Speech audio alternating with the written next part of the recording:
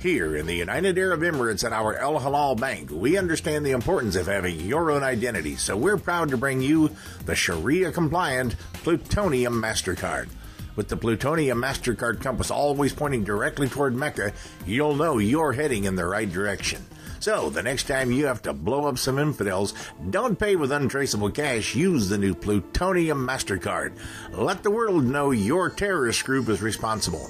Make your jihad Baghdadi proud. Don't settle for just another platinum card. Bring some real bang to your shopping power with the new Plutonium card.